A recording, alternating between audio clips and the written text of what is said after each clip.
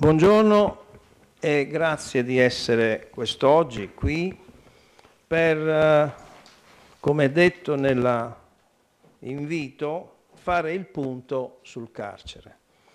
Voi sapete che la comunità di San Vito è stata particolarmente attenta, coinvolta, partecipe di questo obiettivo, cioè quello di mettere a disposizione della intera comunità regionale, in particolare del Friuli occidentale, prima un sito che è stato individuato nella caserma d'allarmi e successivamente della realizzazione del carcere.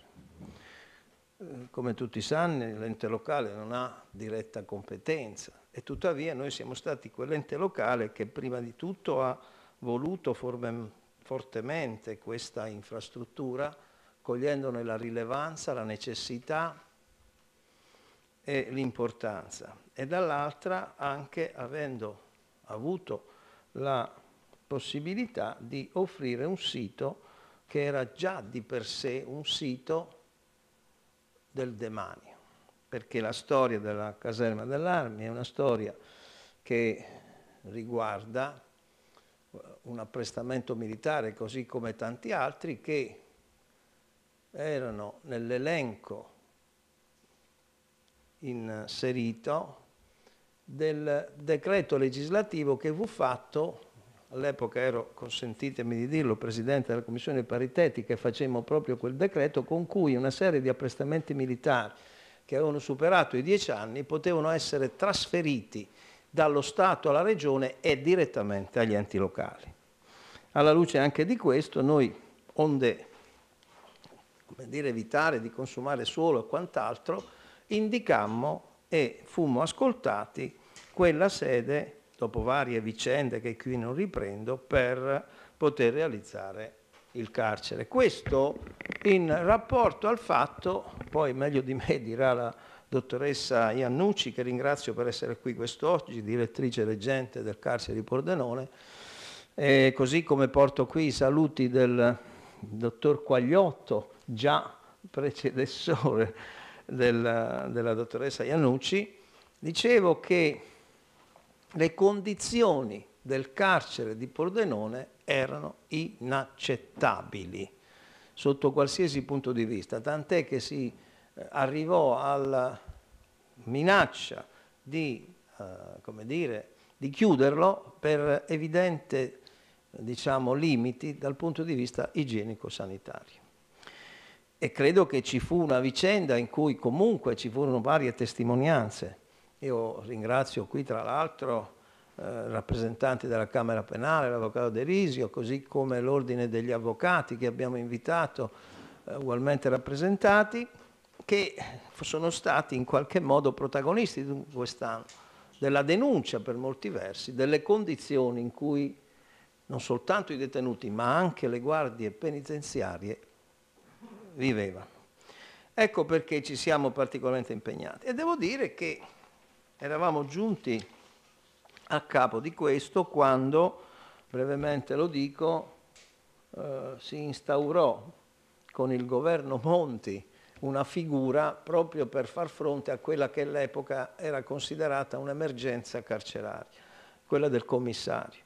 Ed ecco il commissario che poi si andò alla realizzazione del primo appalto e all'assegnazione all'associazione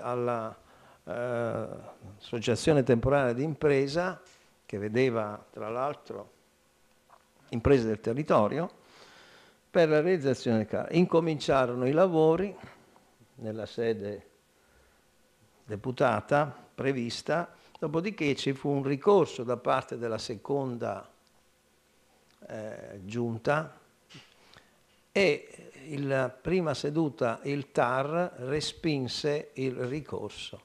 Dopodiché ci fu il ricorso al Consiglio di Stato della Pizzarotti e il Consiglio di Stato accolse tale ricorso e rincominciò un'altra serie di ricorsi al Consiglio di Stato, cosiddetti per ottemperanza e via di seguito. Insomma, alla fine, avendo il Consiglio di Stato eh, detto, sentenziato che doveva subentrare la Pizzarotti, la stessa Pizzarotti ovviamente ha ritenuto di non subentrare perché avrebbe, aveva espresso la sua disponibilità a subentrare se la uh, somma che veniva era quella della loro offerta e non già dell'appalto che aveva vinto. Una differenza insomma parecchio, erano quasi 8 milioni e ovviamente questo portò al fatto alla fine che la Pizzarotti non aderì all'idea di subentrare. Voi capite che tutto questo tempo è rimasto bloccato perché ovviamente le vicende e così via. Nel frattempo la figura del commissario purtroppo è stata superata dal governo Renzi, se non ricordo male, su richiesta all'epoca perentoria del Movimento 5 Stelle, un errore a mio avviso, che permise di dover riprendere da capo ogni cosa. Ma in ogni caso, dopodiché ci fu tutto a cura del provveditorato alle opere pubbliche, in particolare di Trieste, e eh, fin quando ovviamente è andato perfino in pensione anche il nuovo provveditore, anche con tutte le vicende che ci sono state.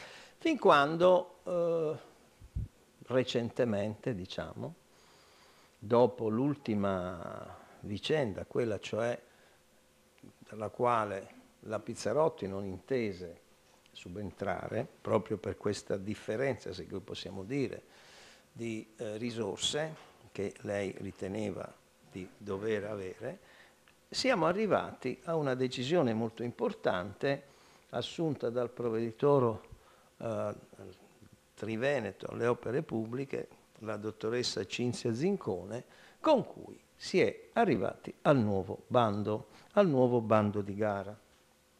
Nuovo bando di gara che, come sapete, è eh, uscito e che prevede una serie anche di termini, a mio avviso, stringenti positivamente e che fanno, ci auguriamo, ed è il motivo per cui siamo qui, possono far ben sperare. È aumentato anche il valore in base di gara, siamo a 39 milioni 851 mila e devo dire che il termine per le offerte è previsto per il 9 settembre, quindi molto celeri. Questo è positivo perché indica della volontà da parte di questa articolazione del Ministero delle Infrastrutture di procedere alla realizzazione. Noi salutiamo, lo abbiamo detto, lo ribadiamo con grande soddisfazione questo dato che comunque ci mette nelle condizioni di poter dire che forse siamo o abbiamo intrapreso il percorso giusto per poter arrivare alla realizzazione del carcere. Per la nostra comunità ha un grande senso, sia perché, come dire, in qualche modo noi l'abbiamo voluto tutti quanti, tutto il Consiglio Comunale si è speso per quanto riguarda questo, sia perché sicuramente rappresenta una risposta importante a tutta l'intera comunità eh, del Friuli occidentale, perché è la vera reale, necessaria alternativa all'attuale carcere ubicato, come sapete, in un vecchio castello a Pordenone. Io credo anche che questa è una risposta alle tante volte che le rappresentanze delle guardie penitenziarie hanno preso proprio per avere un luogo, un luogo non soltanto sicuro ma soprattutto un luogo agevole dove poter svolgere la loro attività. Ma questo significa anche, quindi l'interesse credo non possa non esserci anche per gli altri attori, perché significa, lo ringrazio, abbiamo avuto il messaggio del Presidente del Tribunale, il quale non può essere presente, tuttavia mostra grande interesse per questo, così come poi sentiremo la Procura della Repubblica, qui rappresentata dal dottor Facchin, interessata che più volte ci ha chiesto in merito a questo. Ecco, quindi siamo diciamo, in una condizione nella quale, proprio visto che siamo al 9 di settembre, che non è lontano per quanto riguarda le offerte, noi abbiamo voluto questo momento proprio per illustrare le attuali condizioni. A me dispiace molto che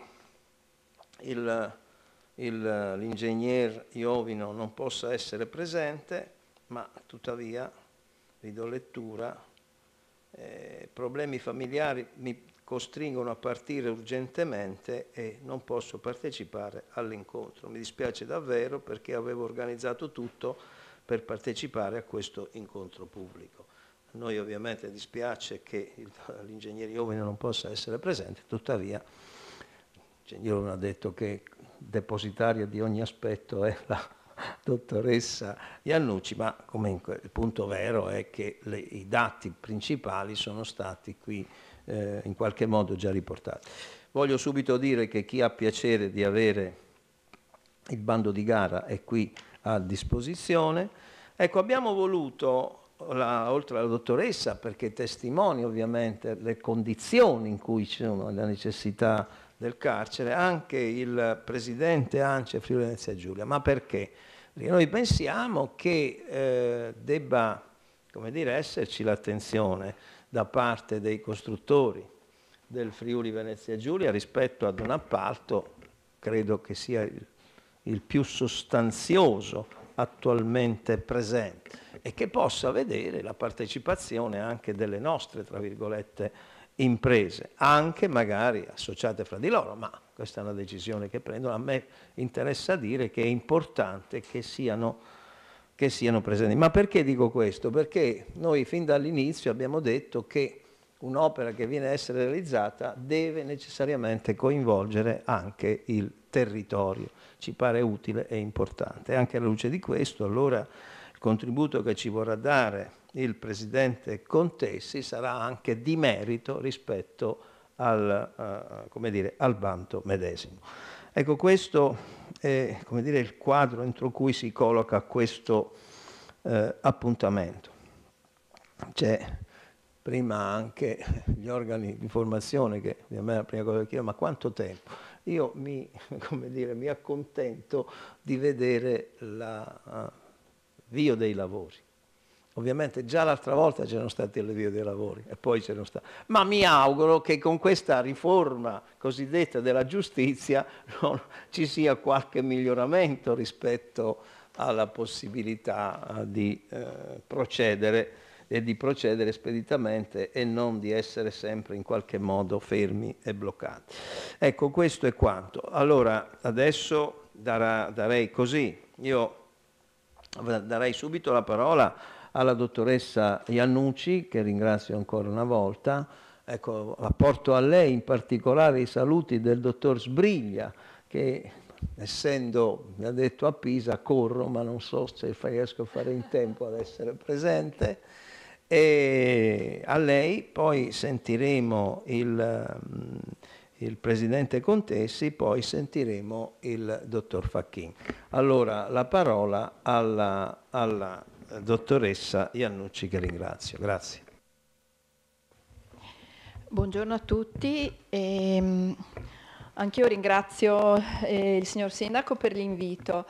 E, mh, dico subito che eh, sono da pochissimo direttore incaricato della reggenza della casa di circondariale di Pordenone da metà maggio di, di quest'anno, quindi anche la, la mia conoscenza della, della, della, della, realtà pordenonese in realtà in itinere.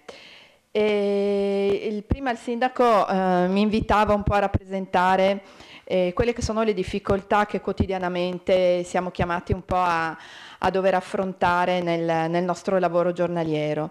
Effettivamente la struttura di Pordenone è, è una struttura pressoché fatiscente. E, mh, ci sono difficoltà mh, non solo per la criticità proprio di, alc di, alcuni aspetti strutturali, ma anche per la, mh, per la carenza di spazi che possono essere utilizzati sia dal personale che dalla popolazione detenuta.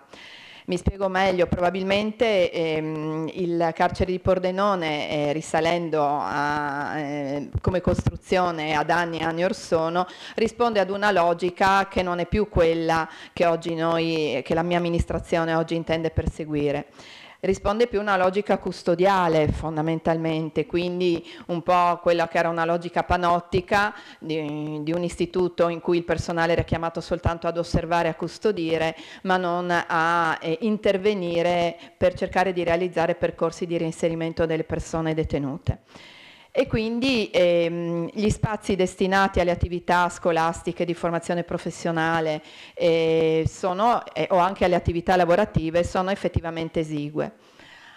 Sono esigui anche gli spazi destinati agli uffici dove il personale possa operare. Sono eh, lontane dalla logica di oggi le camere di pernottamento, eh, oggi non si dice più celle, forse non sempre la forma equivale a sostanza, ma qualche volta forse dovrebbe essere così.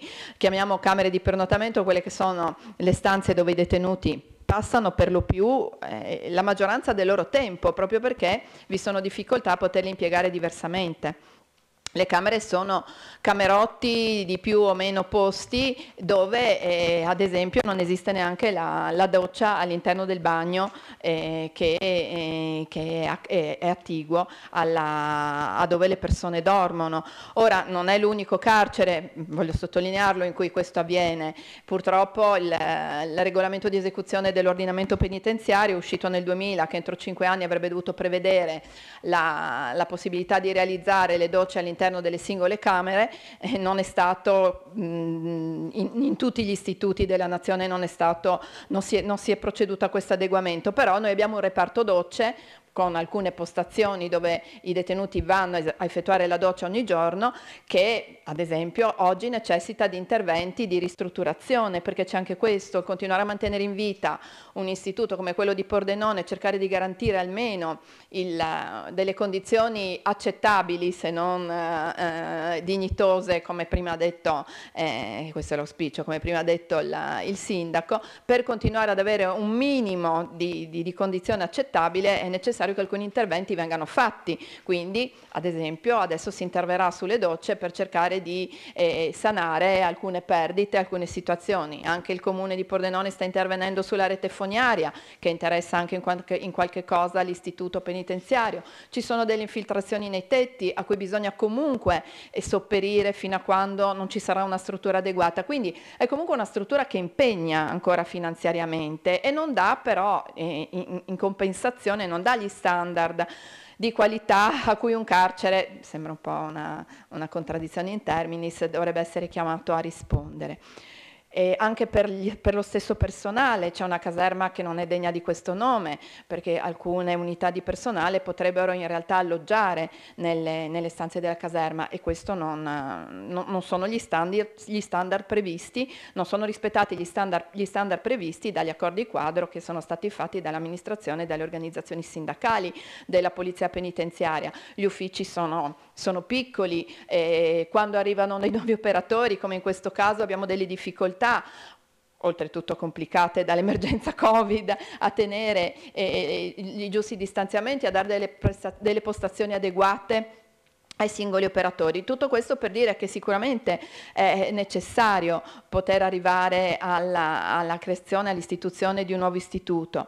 Ehm, il sovraffollamento, il sovraffollamento al momento è contenuto per l'istituto di Pordenone proprio perché dovendo a, a, attingere a questi lavori di ordinaria manutenzione eh, sono state sospese le assegnazioni, gli ingressi dalla libertà nell'istituto perché non siamo in grado di garantire l'isolamento Covid, perché dobbiamo utilizzare le stanze che eh, avevamo destinato per l'isolamento Covid, che sono le uniche due stanze dove ci sono le docce in camera, le dovremo utilizzare come docce per tutta la popolazione detenuta. Quindi non possiamo ricevere, perché non possiamo isolare le persone che entrano dalla libertà. Le difficoltà ci sono, sono quotidiane, ripeto, io le sto imparando eh, quotidianamente, le vivo quotidianamente per le due giornate a settimana in cui, in cui mi trovo a Pordenone chiaro che un istituto mh, mm, che da quello che ho, che ho sentito dovrebbe mh, mm, viaggiare all'incirca come capienza intorno ai 300 detenuti ha tutto un altro impatto no? Sulla, anche sul, sul, territorio, sul territorio cittadino. Avrà un impatto anche di diversità, immagino, di tipologie di utenza detenuta. In questo momento Pordenone ha una sezione eh, di media sicurezza, quindi di detenuti cosiddetti comuni, una sezione ed è l'unico istituto nella regione ad averlo invece di protetti, soprattutto eh, di persone che sono state condannate o eh, sono imputate di reati ehm, inerenti alla sfera sessuale. Quindi diciamo quindi una sezione anche un po' particolare che avrebbe bisogno di risorse anche in termini di percorsi psicologici strutturati in un certo modo, e di percorsi riabilitativi particolari. Adesso per carità l'amministrazione quest'anno ha anche investito mh, mm, questo, su questo tema del, del supporto psicologico per i, i, le persone, i rei diciamo, di reati contro le donne, però il fatto di non avere spazi sufficienti sicuramente eh, ci crea delle difficoltà perché proprio appunto adesso con l'arrivo di cinque esperti psicologi alle volte non riusciamo ad avere una stanza che possa essere utilizzata perché sono costrette a diversificarsi altrimenti si sovrappongono e non ci sono gli spazi. Quindi questo per dire che il mio augurio è che davvero questo, questa volta la partenza non sia una falsa partenza in qualche modo, e in tempi mh, adeguati ovviamente, ma, ma non lontanissimi. E Pordenone, anche se non è il comune di Pordenone, ma è il comune di San Vito al Tagliamento, eh, possa avere un, un, istituto degno di questo nome che consenta veramente a noi ehm, dell'amministrazione penitenziaria di perseguire quello che è la nostra, la nostra, la nostra missione istituzionale eh, pieno, nel pieno rispetto dell'articolo 27, ma consenta anche al personale di vivere e di lavorare in condizioni dignitose, perché poi alla fine è un po' detto in termini molto semplici, se stanno bene i detenuti sta bene anche il personale, ma poi è viceversa, se il personale lavora in un ambiente sereno anche c'è una disponibilità diversa rispetto all'ascolto del, delle esigenze e dei bisogni della popolazione detenuta. Io mi, mi fermerei qui, ringrazio grazie. ancora. Grazie, grazie alla dottoressa Iannucci. Adesso il Presidente Contessi. ANCE Friuli Venezia Giulia. Prego. Eccoci qua. Intanto saluto tutti, grazie per aver convocato la mia persona, ma chiaramente io sono solamente un delegato della nostra associazione e quindi mh, ringrazio il Sindaco per questa attenzione, ma soprattutto volevo esprimere mh, proprio i, i, miei personalissimi complimenti all'amministrazione in generale perché un'amministrazione che si mette in campo per realizzare un'opera strategica come un carcere e riesce a portarla a termine al tempo d'oggi, credo che sia un successo di non poco conto. Quindi i miei complimenti in assoluto all'amministrazione di San Vito perché eh, piaccia o non piaccia, queste sono sono strutture che, di cui il Paese necessita sempre di più, visto i momenti che corriamo, e eh, riuscire a convincere un po' tutti sulla bontà di una scelta del genere non credo sia un lavoro semplice. Per quanto riguarda poi l'appalto, come ho già avuto modo di discutere prima col sindaco, ovviamente una, un appalto di questa portata economica sul nostro territorio non è che lo troviamo ogni settimana, è, è molto difficile trovare eh, gare di questa portata mm, in Friuli Venezia Giulia, pertanto sarà sicuramente, porterà una ricaduta sicuramente sul territorio, sull'indotto, perché eh, il nostro settore rispetto alla base d'appalto poi distribuisce su tutto, tutti, tutte le attività che sono corollario della nostra circa tre volte l'importo di, di, partenza. Credo quindi che sarà un successo e una boccata d'ossigeno dopo questo lungo periodo in cui più o meno tutti hanno avuto dei problemi e pertanto c'è la, la, la, fondata speranza che mh, ci siano molti lati positivi su una decisione politica come eh, alla fine rimane la realizzazione di un'opera pubblica. Eh, sul bando mh, ho notato che ci sono delle caratteristiche stringenti sul tipo di impresa da scegliere che vanno un attimino ad entrare anche nella qualificazione tecnica delle aziende e questo è molto importante per noi perché molte volte purtroppo le aziende hanno tutte le, le certificazioni ma poi andiamo a vedere sotto sotto la, la, sono solo pezzi di carta e, e non c'è struttura. Mentre in questo bando ho visto che hanno dato attenzione sia alla parte tecnica ma soprattutto alla parte anche eh, come posso dire, di una correttezza istituzionale. C'è un, un, capitolo che premia mh, mm, il rating di legalità, molti di voi forse non lo conoscono, però il rating di legalità per un'azienda, credetemi, è molto difficile da ottenere perché stiamo parlando che non può avere subito negli ultimi due anni delle sanzioni amministrative di, che superano, mi sembra, i 3.000 o 3.200 euro, quindi onestamente è quasi impossibile perché quando c'è un controllo di un ispettorato del lavoro, anche se trovano la più piccola delle difformità, sì, le, le, sanzioni partono dai 500 euro in più e quindi chi ha il rating di regalità onestamente oggi andrebbe premiato di più perché eh, vuol dire che fa le cose per bene o perlomeno fa le cose con molta più attenzione di chi magari non ce l'ha. Pertanto sono molto soddisfatto dei requisiti che sono stati inseriti nel bando per la scelta delle imprese. Ovviamente il nostro territorio non ha imprese, non ha più purtroppo, aggiungo, imprese che possono concorrere da sole su un appalto del genere perché eh, i dieci anni di crisi le hanno falcidiate. Ne è rimasta qualcuno, ma c'è sempre, come diceva il Sindaco, la possibilità di creare delle associazioni e dei consorzi per poter portare avanti poi la propria proposta rientrando nelle caratteristiche dimensionali che il bando richiede. Quindi mh, concludendo io mh, di nuovo ringrazio il sindaco, lo ringrazio in, diciamo, per i due motivi che ho già anticipato all'inizio del mio intervento, mi auguro che eh, questo bando abbia più fortuna di quello precedente Speriamo che siano state controllate tutte le, le, soprattutto tutta la, la, parte economica perché eh, molte volte questi grandi appalti subiscono un iter molto lungo come, voi, come poi il sindaco ci ha spiegato. Tenete presente che noi negli ultimi otto mesi abbiamo avuto dei rincari dei materiali che sono del 300-400%, quindi capite che un, che un iter che dura anni solo per poter uscire eh, e, e, dare la possibilità alle imprese di fare un'offerta.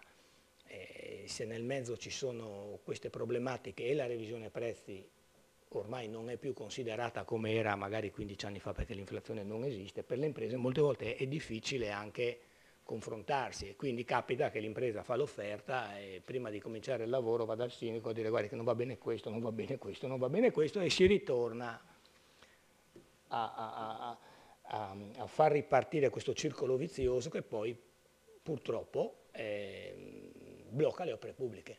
È vero che il nostro territorio sotto questo profilo, le nostre aziende sono abbastanza virtuose, quindi non hanno un abito di questo, ad, ad usare questi strumenti perché siamo una comunità alla, alla, fine piccola, quindi si trova sempre, fra persone di buon senso credo che le strade si trovano sempre, però se arriva un'azienda da fuori, eh, lì, eh, più grossa è l'azienda, più pericoloso, più pericolo c'è per l'amministrazione.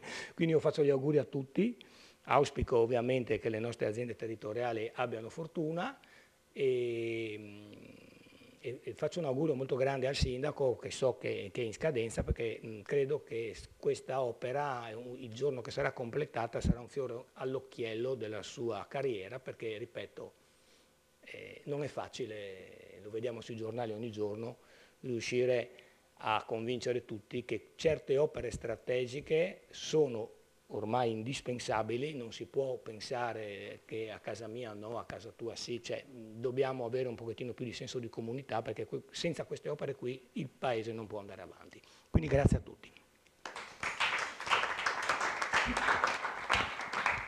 Bene, eh, la parola al dottor Federico Facchin. Eh, no, no, porto io, non ti preoccupare.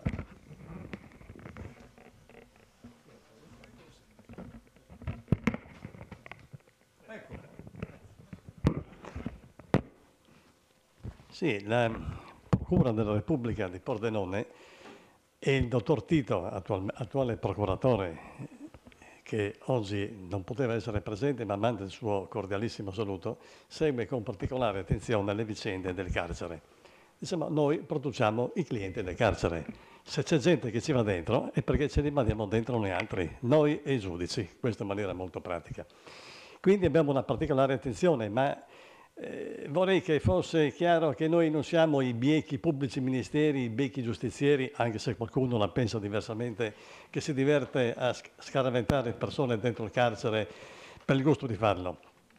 Noi cerchiamo di applicare la legge penale e ci preoccupiamo anche di, che siano osservate tutte le disposizioni di legge, in particolare tutte quelle che devono eh, prevedere e garantiscono ai cittadini provvisoriamente in carcere tutti i diritti di cui hanno diritto e il loro benessere, per quanto compatibile con la particolarità della situazione carceraria.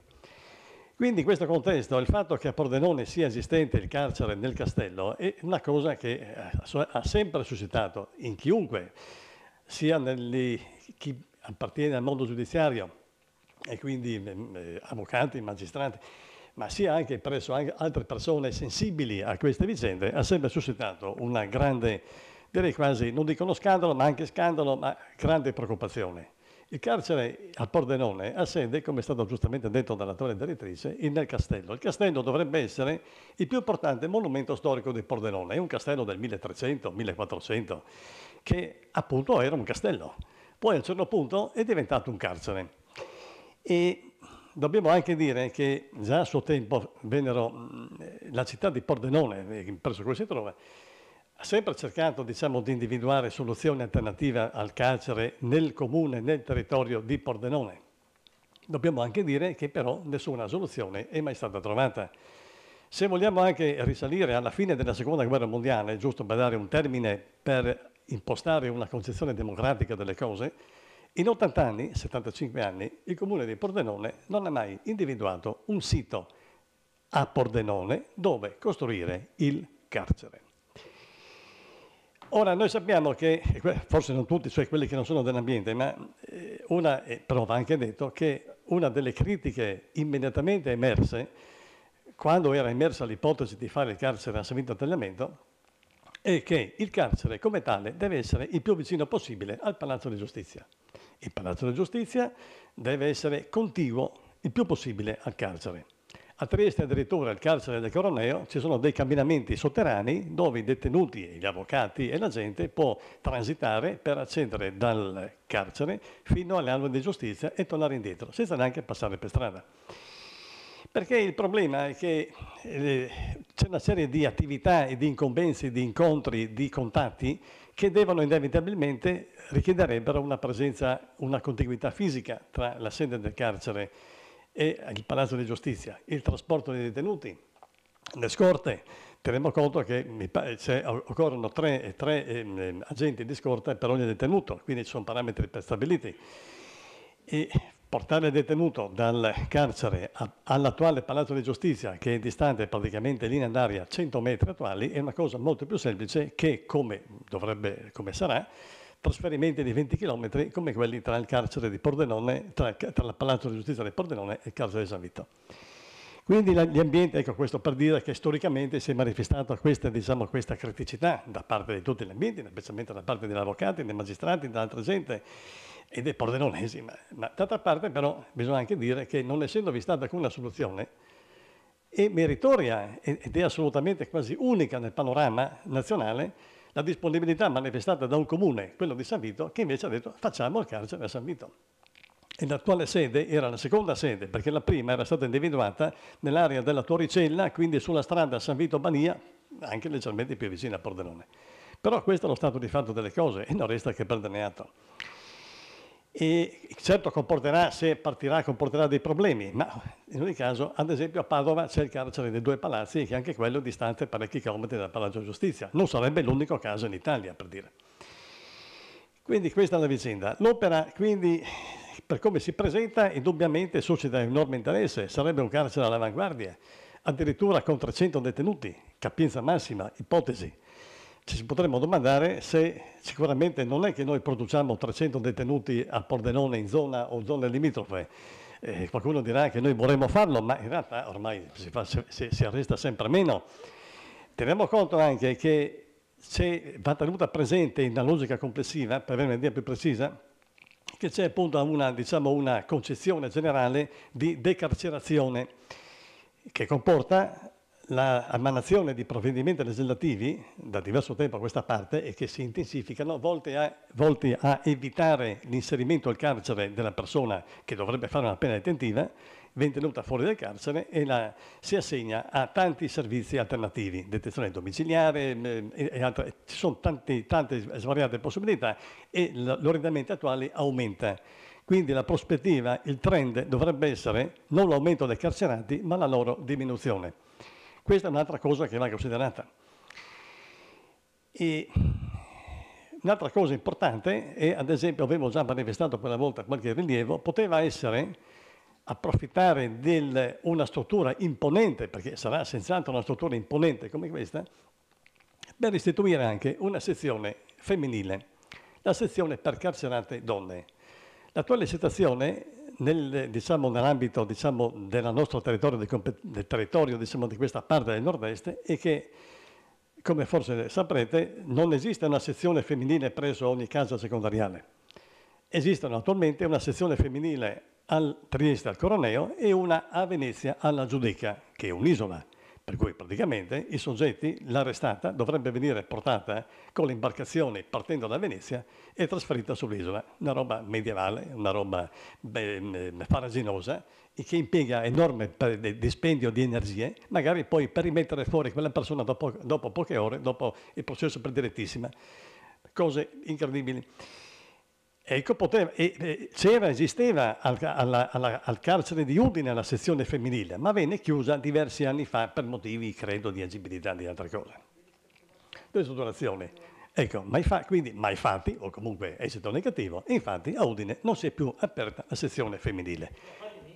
Misti, e beh, misti, vabbè che c'è l'LGBT, però potremmo anche fare la sezione LGBT a questo punto anche, se vogliamo essere all'avanguardia. Allora quindi San Vito invece avrebbe una posizione baricentrica fra Trieste e Venezia. Non c'è Udine, c'è San Vito, che siamo appena a 36 km. Ecco un'idea potrebbe essere quella di far su una sezione femminile, visto che il carcere è così grande. Non sarebbe un'idea sbagliata, credo. Vado un po' a braccio, dico anche un'altra cosa. Eh, sappiamo per, per conoscenze dirette nostre che in Italia tante carceri vengono iniziate quando, quando iniziano, poi si fermano a metà, si fermano tre quarti, poi finiscono e non vengono aperte. Ce ne sono diverse. Per motivi, quali motivi? Apparentemente inspiegabili. Agibilità. Agibilità. Però siamo dinanzi a opere molto importanti a livello nazionale, con tanti soldi che girano, e qui mi fermo. Allora, a questo punto noi speriamo che se un carcere simile, che è grande, eh, 300 detenuti, se riesce veramente a partire, vada veramente in porto e poi venga anche aperto. Cito un'esperienza, una conoscenza personale. Negli anni 90 ero pretore a Portogruaro. All'epoca Portogruaro aveva sede un bellissimo palazzo veneziano, Palazzo Venanzio, un palazzo del 500 di fronte al Marconi. Pa- palazzo Venanzio, questo era eh, il palazzo del, di, di Portogruaro. Attaccato a questo palazzo c'era il carcere mandamentale costruito ex novo negli anni inizio anni 90. Questo bel carcere sono andato dentro perché ero pretore, ho fatto un bel giro, ma bello, parliamo a metà anni 90. E io mi ricordo che c'era un bel televisore, credo in bianco e nero, messo sopra la stipita della porta con la grata. C'erano celle appena due posti e ciascuno aveva il suo bagno separato, cioè il suo bagnetto. C'era stato un 22, 22 posti. Mai aperto, non c'è entrato una sola persona, neanche per sbaglio, ma neanche per sbaglio. Quella volta veniva utilizzato come deposito del materiale elettorale per le elezioni e poi alla fine è diventato una dependenza del giudice di pace di Portogallo. Sembra, avevo, avevo, provato a leggere qualche atto che avevo trovato in pretura, che poi non è che ci fosse una, una comunicazione di queste cose con, con, con il giudiziario. Sembra che il problema fosse che non era garantita una eh, diciamo, sicurezza, perché essendo lì nel centro di Portogallo, confinava col parco retrostante, c'era eh, il muro, uno si potrebbe dire, e perché cavolo l'avete fatto? Però è stato fatto, i soldi sono stati spesi, più di un miliardo di lire dell'epoca, mai aperto e mai utilizzato. Quindi questa è la fine del carcere di Portogruaro. Ma neanche per i semiliberi, però per gente che magari nelle condizioni, magari che deve andare in cella solo a dormire, neanche quello, perché ci possono essere varie modalità di utilizzo anche delle strutture minori, mentre gente che senza buttarli dentro.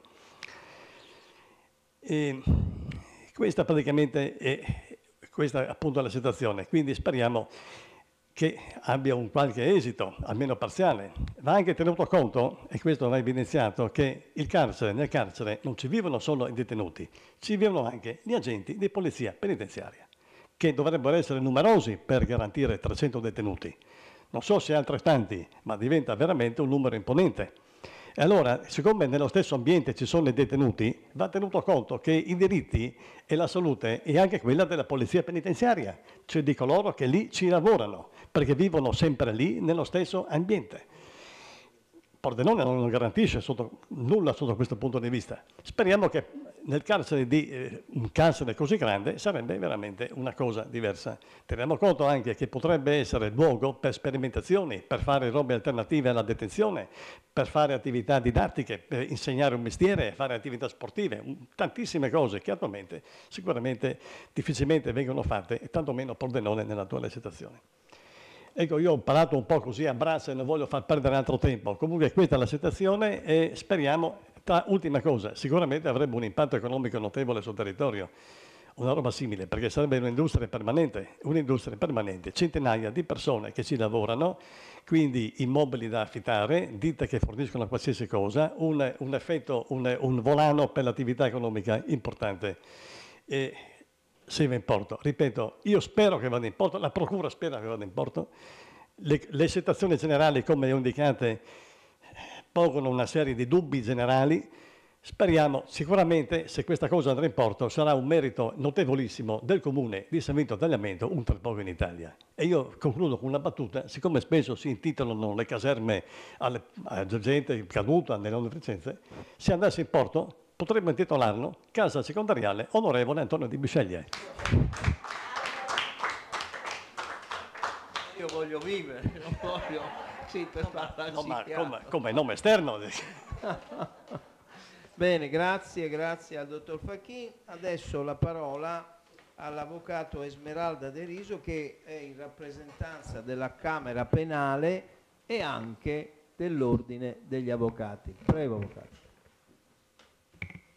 Buongiorno a tutti, ringrazio da parte del Presidente del Consiglio di Pordenone Antonio Rubial dell'invito, ringrazio a nome del Presidente della Camera Penale Roberto Lombardini, che il Sindaco che ci ha voluto qui e, e spenderò due parole anche eh, grazie a quanto ha, ci ha appena illustrato il Dottor Facchini. L'avvocatura è vero, ha, negli anni è stata un po' critica sulla scelta del sito eh, a San Vito, ma non perché ce l'abbiamo con San Vito, ma perché, per, perché riteniamo eh, che sia e dovrebbe essere migliore la, la, una scelta più vicina alla, al Tribunale eh, di Pordenone come ha ricordato il dottor Facchin. Ovvio che però eh, apprezziamo ed è stata apprezzata la disponibilità della, del Comune di San Vito di dare la disponibilità di trovare il sito, anche perché quello che interessa all'avvocatura, ma quello che dovrebbe interessare a tutti, è che i detenuti stiano bene e che la polizia giudiziaria possa, penitenziaria, scusate, possa lavorare nelle migliori delle condizioni, cosa che adesso non è. L'esperienza che ho io diretta del carcere di Pordenone, che sono vent'anni che lo frequento, da, da semilibera o da libera a seconda dei momenti, nel senso che ci sono dei momenti in cui sto molto dentro con i miei assistiti, ma poi posso uscire e, e la, l'Unione Camere Penali Italiane sta facendo da diversi anni quest, una, una, mm, una manifestazione che si chiama Ferragosto in carcere. Gli avvocati delegati in ogni eh, città in cui c'è una casa circondariale, una casa custodiale, possono eh, andare a visitare le celle o le camere di pernottamento come si chiamano adesso e rendersi conto di quella che è la situazione vera perché si leggono nei giornali che la gente deve stare dentro se si commettono determinati reati non si ha diritto di stare fuori bisogna essere incarcerati non, non, è questa la sede e quindi non voglio mh, dare spiegazioni a questo, però l'importante è una persona commette un errore, viene condannato oppure in, in custodia cautelare, deve stare in carcere, ma non è un animale. Come non sono degli animali, i, gli agenti di polizia penitenziaria devono tutti convivere in modo dignitoso e secondo delle regole almeno minime di, di, di dignità e di sicurezza. Ora, il corso di Polone, come diceva la dottoressa, è in condizioni veramente critiche, però quello che noi due anni, l'anno scorso non è stato possibile entrare perché c'era il Covid, io ho fatto parte della delegazione che è entrata in carcere a Pordenone e mh, siamo state con la collega Soveri, siamo stati all'interno proprio delle celle, all'interno del carcere, con, ovviamente con la gente di custodia, perché non è che... Ecco, e abbiamo visto la sala, quella che è stata dipinta anche dai detenuti, quella sopra, siamo stati fuori a vedere il, il, al di fuori delle cinta, eh, avevano per esempio iniziato, grazie Ah, non, chi di noi non, conosce, non, ha conosciuto Mario Sartor con la, la, la, cooperativa Oasi, avevano iniziato un progetto per cui avevano iniziato a coltivare un orto di erbe per dare comunque la possibilità a, a erbe aromatiche, per dare la possibilità a queste persone di non stare solo chiuse ma di rendersi utili, poi raccoglievano e cucinavano il progetto è saltato perché, perché, è venuta meno, la dottoressa sa meglio di me, la, la forza, la polizia penitenziaria sono sempre in meno, loro sono veramente pochi e non riescono a gestire queste ulteriori attività, al di là degli spazi che ovviamente eh, sono diciamo risicati. Gli stessi avvocati non possono, se, se ci sono tre avvocati dobbiamo aspettare ore perché c'è una sala e delle volte ci danno, ed è la sala in cui vengono effettuati i colloqui con i familiari, la sala che ci danno, e possiamo essere un avvocato con un detenuto non, per questioni di privacy e di sicurezza, ogni tanto, viene, ogni tanto ci viene data, quando gli educatori e gli psicologi non devono fare gli incontri, ci viene data una stanza un po' più piccola in cui possiamo effettuare i colloqui, c'è la sala dei magistrati che anche il dottor Facchin conosce, che anche quella è, diciamo, è, è, decorosa, però allora quando non ci sono i magistrati che effettuano i loro incombenti ci danno quella, quindi c'è una collaborazione veramente tra la casa circondariale, l'amministrazione e l'avvocatura. Però rimane il problema del carcere e delle situazioni in cui la dottoressa ricordava delle docce. Ora, eh, se non vado errato, dottoressa, la capienza massima sono 60-65 detenuti, sarebbe. Ecco.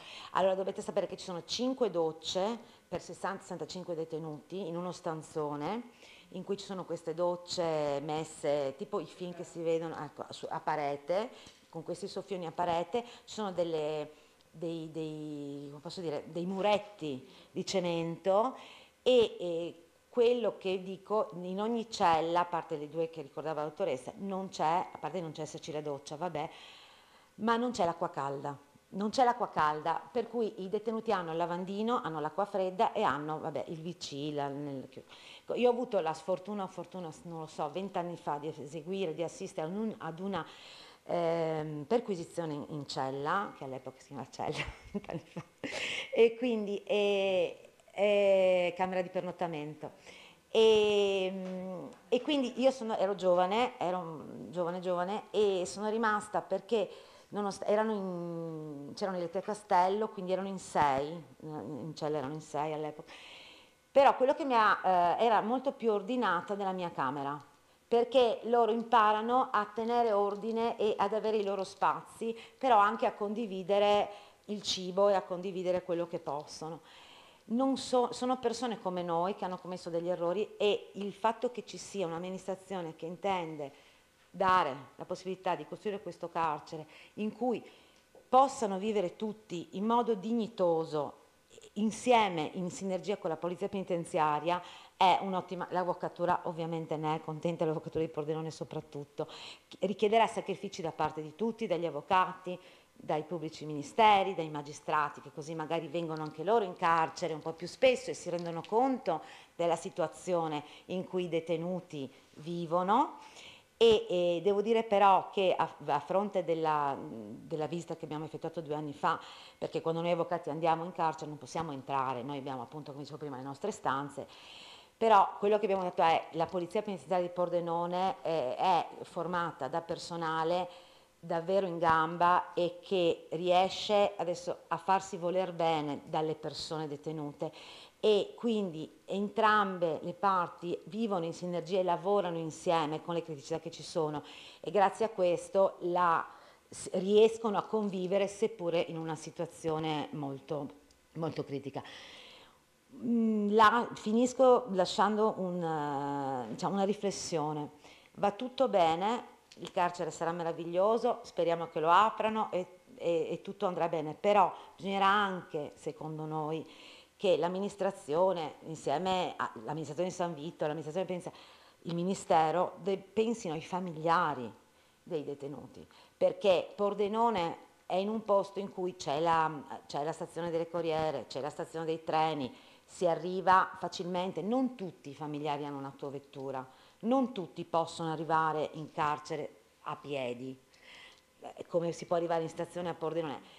Allora bisognerà e questo è solo una riflessione, bisognerà che qualcuno pensi a, ad aumentare l'indotto dei servizi che possono permettere alle persone eh, detenute di ricevere i propri familiari senza troppi sacrifici. Ringrazio ancora per l'invito e in bocca al lupo per questo grandissimo progetto. Grazie. Crepi, crepi. Bene, siamo giunti alla conclusione. Io voglio rinnovare i ringraziamenti ovviamente a chi è intervenuto, a tutti i presenti e riassumerei in questo modo.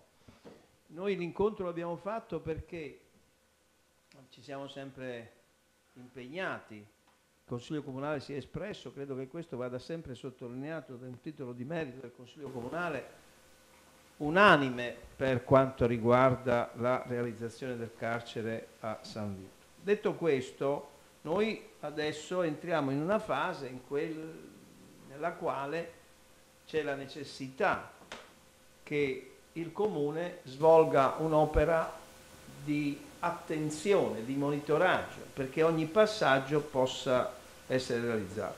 Allora, partiamo dal bando. Abbiamo detto una cosa importante perché sembra quasi 9 settembre l'offerta. 9 settembre io voglio salutare molto positivamente questo aspetto previsto nel bando perché sono pochi i bandi che prevedono tempi così stringenti per quanto riguarda le offerte. Il fatto di aver messo il 9, eh, certo, però è importante perché è il segno, ne avevo avuto modo di parlare con la dottoressa Zincone, alla quale permettete di esprimere la mia totale solidarietà, lo dico e lo ribadisco, eh, è un termine molto, molto importante perché poi si va al 14 settembre come prima seduta della commissione, cioè per il primo esame e la definizione dei criteri. Ma questo perché? Perché indica che almeno per chi ha emesso il bando c'è una volontà reale, concreta, determinata di procedere alla realizzazione di questa infrastruttura. Secondo punto, ehm, è stato toccato, mm, mi fa molto piacere che eh, l'abbia ripreso il dottor Facchini, cioè per una comunità come San Vito avere il carcere ha una ricaduta economica notevolissima, perché non siamo una grande città, non siamo, credo che questo, allora avere un luogo dove andranno 300 persone e altrettante guardie sostanzialmente, quindi un luogo dove ogni mattina no, c'è la vita di quella, beh, significa, come capite facilmente, l'impatto economico che ha poi nel rapporto con la comunità. Ma questo io lo voglio dire anche per quanto riguarda la realizzazione del carcere. Ha fatto bene il Presidente Contessi a ricordarlo, perché è ovvio che tutto l'indotto non potrà e non dovrà, dico io, non avere un rapporto con il locale, con il territorio. Questo è un altro elemento di particolare importanza. Andiamo poi a un altro aspetto che qui è stato ricordato, cioè quello che è scritto nella Costituzione, perché anche qui il, il carcere deve essere costruito per favorire il recupero della persona. Allora sia la realizzazione del carcere, sia l'altro aspetto, è stato ricordato dalla, eh, dalla dottoressa Iannucci, poi ripreso, cioè è chiaro che si tratterà anche qui, e qui tra l'altro moltissime ormai sono gli enti locali, moltissime sono le iniziative nelle carceri, no? Io uno di quelli ricordo il panettone dei detenuti di Padova, perché il dottor Sbriglia me l'ha fatto e via di seguito, ma voglio dire è chiaro che si tratterà di mettere in piedi, chi ovviamente sarà, dovrà mettere in piedi quei programmi che permettono nel carcere a di fare i corsi di formazione. Io lo ricordo perché voi sapete un grande poeta eh, italiano, De Angelis, svolge attività a, al carcere di, eh, di Milano, al, all'opera, proprio questi corsi di formazione eh, che vengono, vengono portati avanti, ma all'interno, dicevo, di una serie di programmi che dovranno, non, dovranno essere messi in piedi in un rapporto eh, della, ovviamente dell'ente locale con, con, la direzione, con la direzione del, del carcere. E poi c'è l'altra cosa che ricordava qui la, uh, l'avvocato Esmeralda. Allora, diciamo tre cose. La prima, il comune di San Vito si è offerto perché il comune di Pordenone, io ho vissuto questa vicenda dall'inizio, da quando era sindaco Pasini, ricordo quando ho partecipato a una riunione da parlamentare in cui il sindaco Pasini disse che Pordenone non voleva. Tombale.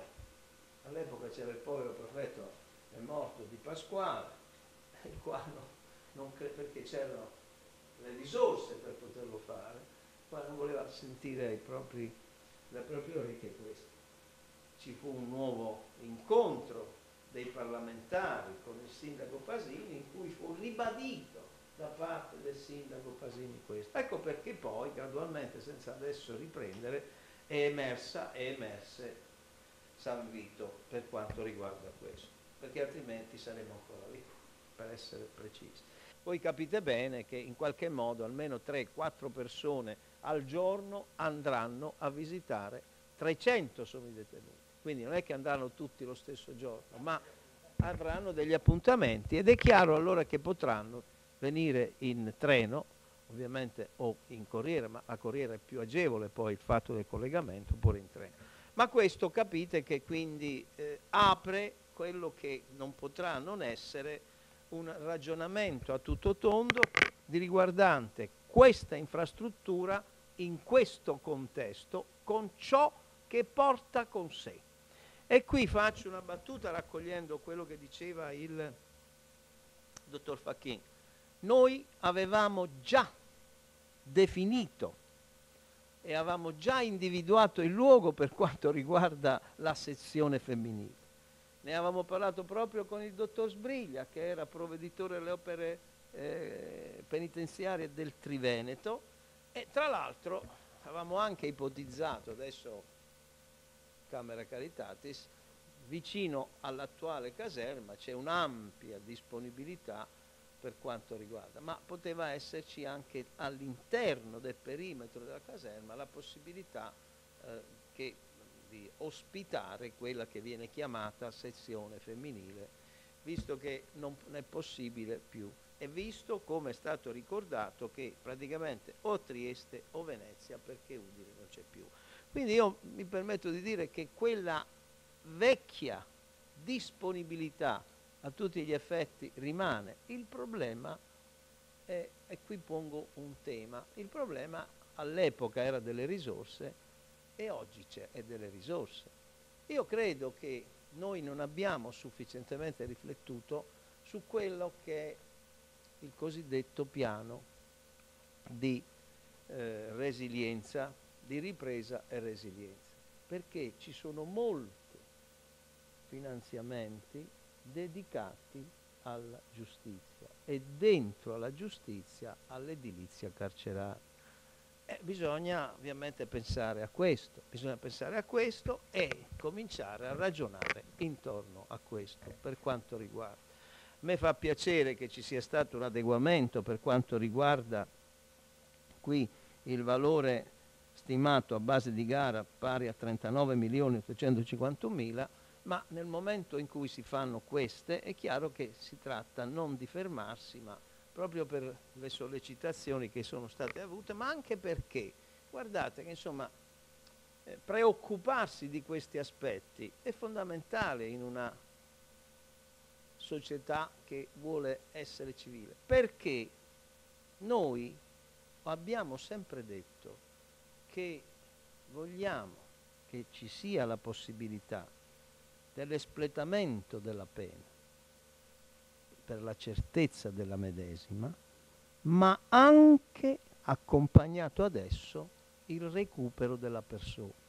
Quindi non una pena soltanto in un'ottica repressiva, ma in una pena in un'ottica di recupero della persona, come la Costituzione ci dice. Io lo dico e lo sottolineo questo aspetto. D'altra parte, se siamo passati da cella a camera di pernottamento, vogliamo che non sia semplicemente un cambiamento di nome, ma abbia anche un svolgimento di ciò che deve essere. Detto questo, io, come dire, vi ringrazio, gli impegni che noi ci assumiamo, per quanto possiamo assumerci, ma credo in senso lato, sono quelli di fare in modo che questo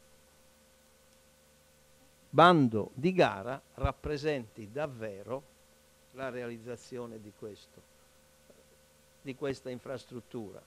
Ma lo dico anche perché mi pare che ci sia un interesse e una volontà corale per la sua realizzazione perché corrisponde ad una necessità e corrisponde a una necessità che non è di una piccola località, ma che è dell'intera regione e del Friuli occidentale. Grazie e buona giornata.